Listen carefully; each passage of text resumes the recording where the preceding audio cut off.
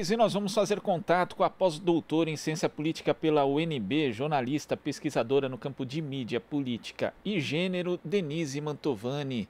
Bom dia, Denise. Bom dia, Glauco. Bom dia aos ouvintes do programa Brasil Atual. Espero que todos estejam bem. Denise, queria começar falando aqui a respeito dos resultados desse segundo turno na capital gaúcha, onde Sebastião Melo, do MDB, acabou vencendo com 54,63% dos votos e Manuela Dávila ficou do PCdoB ficou com 45,37%.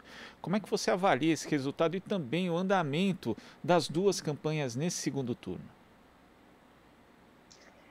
Bom, Glauco e ouvintes, eu acho que o resultado ele, ele reflete um pouco o que a gente até já conversou no, num outro encontro que nós tivemos aqui com, com você. Ele, é, a, a Manuela acabou é, conquistando um número, do meu ponto de vista, bem importante de apoios e adesões, né? Ela teve um, um, crescimento importante em relação ao primeiro turno, que foi de 29% para 45% na, dos votos válidos. Acho que um aspecto importante para a gente considerar também é o número de abstenções, que mudou muito pouco em relação ao primeiro turno, de 33% ficou em 32%, então também é, o eleitorado não foi é, votar no segundo turno, ou manteve é, um percentual de quem não foi votar.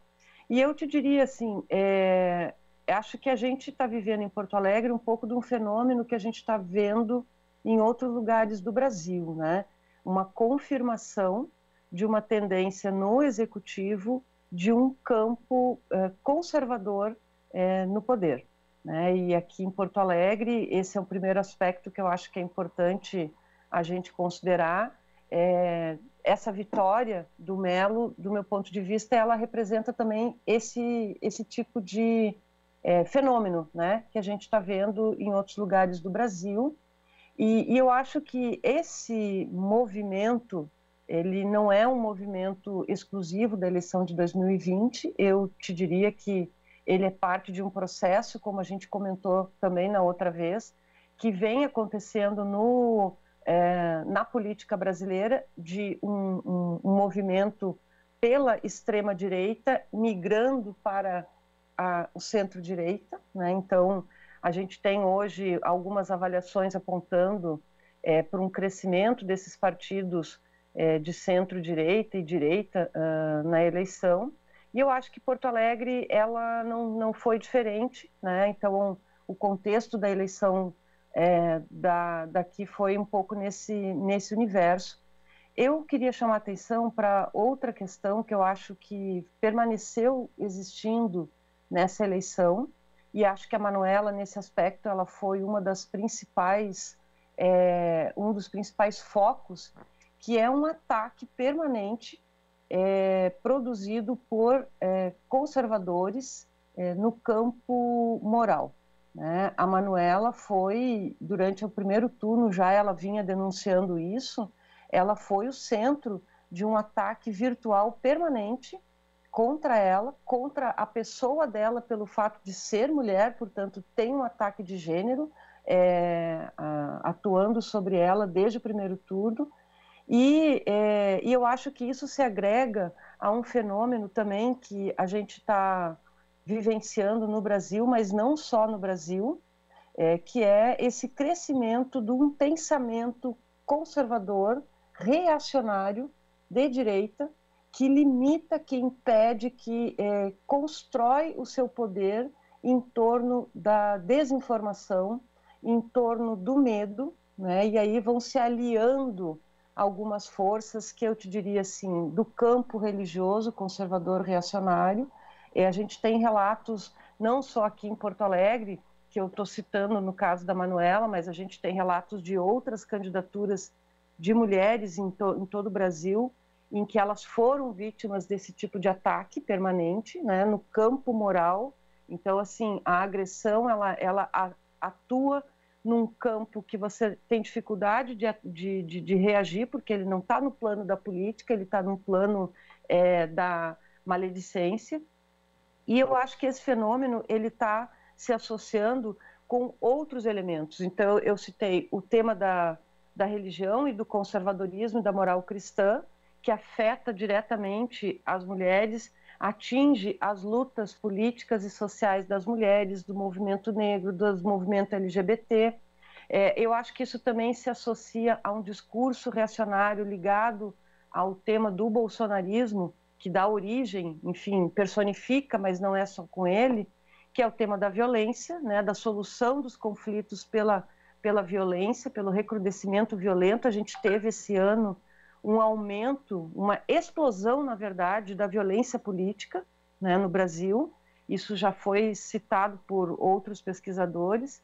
A ideia de um modelo único de família tradicional, que vai se associando então a uma composição conservadora, o anticomunismo, que ele se reflete num enfrentamento a posições de esquerda é, é, e, e, e, do campo do bem-estar social, o negacionismo, né, que tem então todo um debate que envolve, envolveu a Covid, como tratar a, a pandemia esse ano, e o tema econômico, né, que é a negação e o impedimento de você discutir a profundidade da crise da desigualdade que a gente está vivendo e qualquer debate produzido em torno desse tema é imediatamente atacado.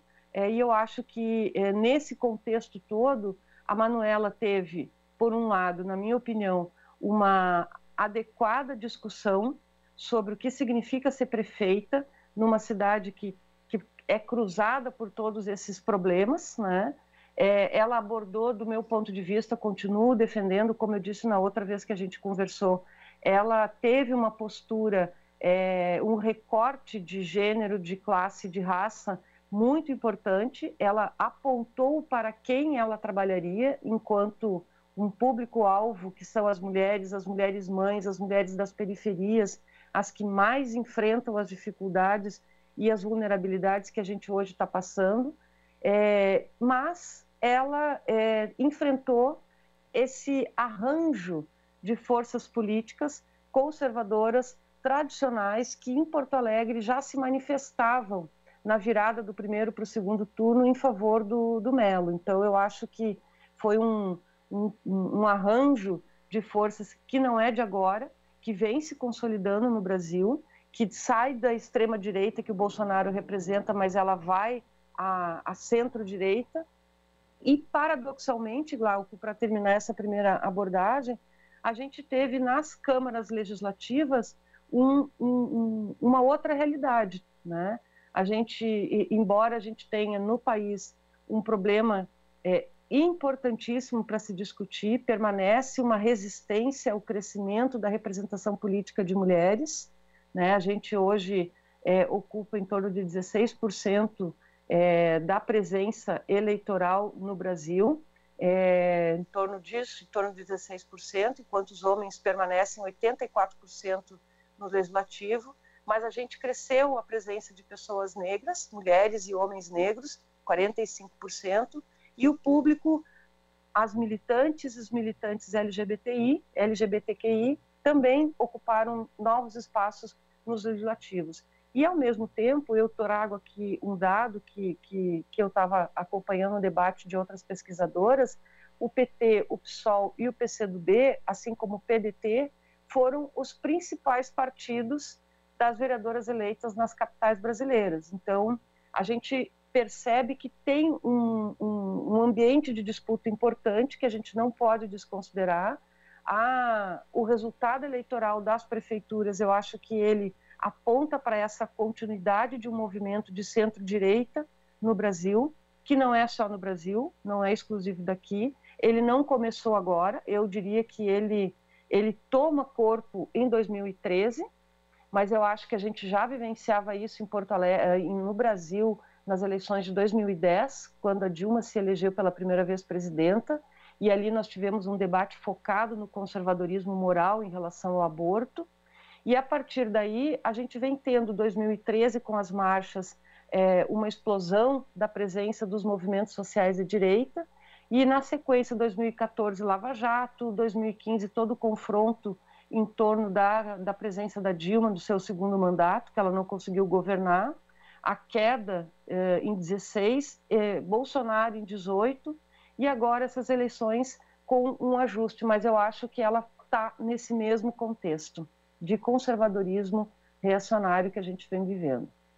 Agora, Denise, você citou a questão da misoginia na campanha contra a Manuela Dávila e a gente vê episódios realmente lamentáveis. No primeiro turno, por exemplo, houve ali um candidato que fez um ataque desse tipo frontal a Manuela e ali ela recebeu a solidariedade da candidata do PSOL, Fernanda Melchiona, mas os outros candidatos, candidatos homens, nem naquele momento e nem depois, eles manifestaram qualquer tipo de reação em relação àquele ataque feito ali por um candidato. E aí a gente lembra né, também que quando o Bolsonaro fez aquela agressão a Maria do Rosário, aquilo ali passou como se sabe, só o PT e partidos de esquerda se manifestaram, porque mais ninguém é, se manifestou àquela altura. Depois o PSDB foi usar isso, inclusive numa campanha presidencial, campanha do Geraldo Alckmin. Mas no momento não tomou, naquele momento não tomou nenhuma atitude. Não está na hora de cobrar os partidos, de uma forma geral, a, na verdade, não só coibirem punirem, inclusive, quem faz isso, mas também aqueles que são adversários que não fizeram, mas que eles também não podem mais omitir em relação a esse tipo de violência política de gênero? Eu concordo, Glauco. Eu acho que a gente precisa, sem sombra de dúvida, entender que quando a gente está debatendo a misoginia e o machismo, a gente está falando de um comportamento social e cultural que ele atravessa os partidos políticos. Nós não estamos aqui hoje discutindo o resultado eleitoral e nós tivemos, por exemplo, nas capitais, só uma mulher eleita prefeita. Isso não quer dizer que as pessoas não votem em mulheres, elas votam. Mas o problema é que os mecanismos que hoje atuam nas estruturas e instituições partidárias, eles permanecem machistas, eles permanecem misóginos em relação às mulheres, desrespeitoso a, a, ao nosso convívio é, político. Então, eu, eu acho que isso isso está tanto no campo da esquerda quanto no campo da direita. Eu acho que enquanto a gente não mudar o comportamento e a atitude de denunciar esse tipo de postura, é, a gente vai ter sempre um, uma dificuldade muito grande de coibir. E, e, o exemplo que você citou do ataque que a Manuela recebeu aqui em Porto Alegre, isso foi realmente bastante agressivo e, e muito comentado por aqui.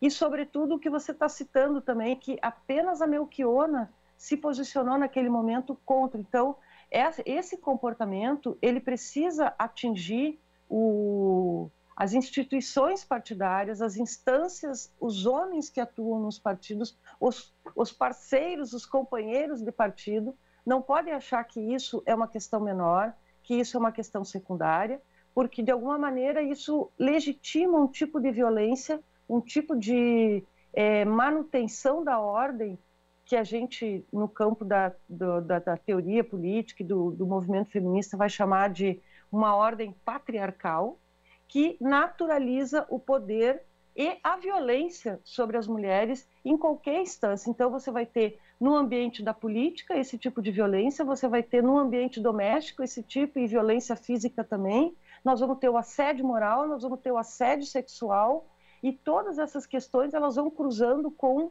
o cotidiano das nossas vidas. Então, eu concordo com você, passa pela transformação da visão política dos homens e das mulheres que atuam no campo político do que significa uma sociedade misógina, uma sociedade machista, que não enfrenta no coletivo esse tipo de comportamento. E aí eu, eu te diria assim, acho que a eleição de 2020 ela permanece com esse flanco em aberto. Né? Acho que a, a Manuela, nesse caso, e não só ela, mas em outros lugares a gente também teve a Marília Reis, por exemplo, que foi outra candidata que disputou uma acirrada, um acirrado segundo turno, também foi vítima de é, ataques violentíssimos, né? É, dentro da, da sua eleição, caminhões de som, carros de som que eu tenho tido notícias aqui em Porto Alegre, no Recife, em vários lugares do Brasil aconteceu isso, carros de som passando nos bairros, ameaçando as pessoas, fazendo aquele tradicional, aquela instrumentalização da política pelo medo, né? Então você ouvia aqui coisas absurdas do tipo a Manuela vai ser eleita, as pessoas vão ser obrigadas a, a dar um pedaço, uma área da sua casa, vão ter que comer cachorro, coisas absurdas, né? Então você começa a pensar assim, que tipo de sociedade está sendo construída a partir de um tipo de ação política em que esse conteúdo não é, é confrontado pelo conjunto dos ativistas e dos militantes partidários, inclusive do campo da esquerda. Eu acho que esse é o elemento muito importante. Acho que essa é uma discussão que perpassa os partidos como um todo e no caso, acho que do campo da esquerda, sobretudo, porque é esse o ambiente, é essa a esfera, esse é o campo em que o debate pela, pelo respeito à diversidade, pelo respeito à pluralidade, pela democracia, tem sido o, o local, né, o locus dessa, desse, desse debate. Então, essas discussões, elas não podem vir dissociadas da discussão antirracista e da discussão de defesa dos direitos das mulheres contra o machismo e a misoginia. Denise, e se a gente for levar em conta a pesquisa do Ibope que foi divulgada no sábado, dava ali a Manuela Dávila com 51 e o Sebastião Melo com 49, ou seja, era uma disputa muito acirrada. A eleição acabou com 9% de vantagem para o Sebastião Melo, que também não é uma grande vantagem, mas que destoa da pesquisa do dia anterior. E a pesquisa até fazia sentido porque houve o debate na sexta-feira em que a Manuela se saiu muito melhor do que o Sebastião Melo, segundo a avaliação quase geral. Então, o que, que aconteceu nessa reta final, na sua avaliação, para é, ter essa reversão de expectativa? Né? A gente sabe que, por exemplo, teve ali um portal de um grande veículo de comunicação que acabou noticiando uma pesquisa falsa que daria uma grande vantagem para o Sebastião Melo e que depois, inclusive, foi é, é, divulgada pelo próprio Instagram do candidato. Depois a, a, matéria saiu do ar, mas aí, àquela altura também, já não adiantava, porque a notícia falsa já estava circulando. Então, você acha que as fake news elas acabaram sendo decisivas também nessa reta final ou algum outro elemento que você identifica para essa reversão em relação ao que mostrava a pesquisa no sábado? Olha, Glauco, eu, eu acho assim, primeiro você está chamando a atenção de um assunto que é muito grave, que realmente aconteceu e é importante que isso não seja esquecido, que é, é uma fraude eleitoral, do meu ponto de vista, houve ali um, uma situação de, de que precisa ser investigada do ponto de vista da legislação, né? O, o fato de uma emissora de, de comunicação divulgar uma pesquisa falsa e ela via na divulgação, é, você percebe a intencionalidade é, da manipulação, porque ela tem o registro de uma outra pesquisa nominada de, a, de um, com um instituto que não fez pesquisas em Porto Alegre. Então, houve realmente uma construção de uma informação, é, de, uma, de, um, de, uma, de um fato que, na verdade, não era verdadeiro. E eu acho que esse é um ponto é, importante para ser investigado, não que ele seja um fator que possa influenciar a eleição. Eu, eu acho que o, o resultado eleitoral ele é, ele é fruto de uma complexa rede de, de questões que envolvem a, a hora de o cidadão e da cidadã decidir votar. É, e eu acho que tem uma particularidade nesse caso, o fato de que a gente é, vem nesse processo que eu estava te comentando de uma consolidação de grupos políticos que, se você for olhar no primeiro turno, uma boa parte deles transferiu votos para o candidato Melo. Mas o tema da pesquisa e o tema desse episódio, no final, na, na noite de sábado, é, realmente ele é grave porque ele indica que houve, sim, um conjunto de ações que a gente talvez ainda não tenha conhecimento de tudo, que produziram é, diversas é, possibilidades de interferência na decisão dos cidadãos da hora de votar. Né? Então, essa tentativa do veículo de comunicação de manipular o resultado eleitoral, que inclusive ele se aproxima muito do que é, acabou sendo o, o resultado da eleição, mas ele é de fato um crime que precisa ser investigado E o fato de a pesquisa ter dado uma indicação que depois não se confirmou, eu acho que ela tem um, um, um aspecto, primeiro assim, que a pesquisa ela precisa ser sempre considerada diante de uma situação, ela precisa ser considerada diante também do, do local, do ambiente, da distribuição com a qual ela está buscando essa percepção e essa intenção de voto. E a literatura sempre trabalha com isso. A pesquisa indica um termômetro em determinado momento de uma intenção, né? Mas que ela, é, no resultado final, ela pode destoar, porque muitas vezes é, essa intenção ela é movida na hora de votar por várias outras questões. E aí eu, nesse momento, teria assim, apenas especulações a te fazer, que eu acho que não é o caso, mas eu te diria assim, um aspecto que me parece muito importante é que esse resultado ele está relacionado com é, um ambiente muito virulento que a gente, embora não tenha aparecido esse ano como aconteceu em 2018, é, ele existe ele atingiu profundamente as candidaturas das mulheres né, no cargo do executivo. Acho que a Manuela enfrentou permanentemente esse tipo de ataque com uh, as fake news. E, o, o, e é esse episódio que você cita, né, da, da, da, da candidatura, do, do, programa, da, do programa da emissora de TV, que fez esse, essa fraude.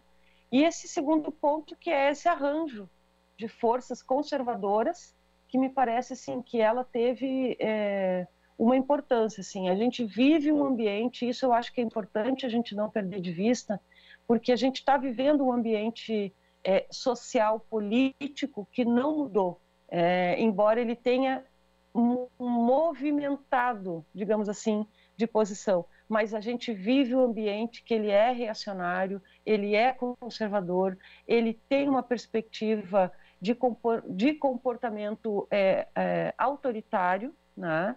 E eu acho que esse é um ponto importante para a gente analisar as eleições nesse ano e o resultado dela, porque é, nós estamos enfrentando nesse ambiente um, um, um, recrudescimento, inclusive, de ataque às mulheres, né? que é o caso que a gente volta a olhar o resultado das eleições no executivo, né? Que a gente, embora tenha tido um pequeno avanço no campo do legislativo, de 13% em 16 para 18 agora, ainda é um, teto, um piso muito baixo de representação de mulheres e, ao mesmo tempo, há um conjunto de mulheres que vêm sendo eleitas que são do campo da centro-direita, que a gente também não pode desconsiderar, e isso significa que é preciso olhar para essa discussão conservadora que está sendo é, que está presente no nosso mundo social hoje e não é de agora. Eu apontei aí 2013 como, digamos, um, um sinal que aparece das, dos movimentos sociais de direita, mas eu acho que a gente vem num contexto aí já de algum tempo e não só no Brasil. Tá certo, Denise. Muito obrigado pela sua participação aqui no Jornal Brasil Atual e até a próxima. Muito obrigada, Glauco. Eu agradeço também a vocês, obrigada aos ouvintes que estão nos acompanhando, a Rádio Brasil Atual e sempre que puder, estou aqui à disposição. Acho que a gente agrega e cresce muito quando consegue trocar ideias e, e, e agradeço a vocês pela disposição de ouvir opiniões também fora da ordem né?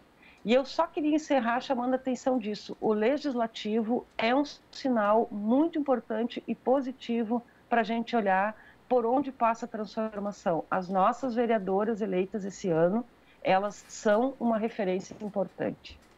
Sem dúvida. Conversamos aqui com a pós-doutora em Ciência Política pela Universidade de Brasília, pesquisadora no campo de mídia, política e gênero, Denise Mantovani. Esta é a Rádio Brasil Atual.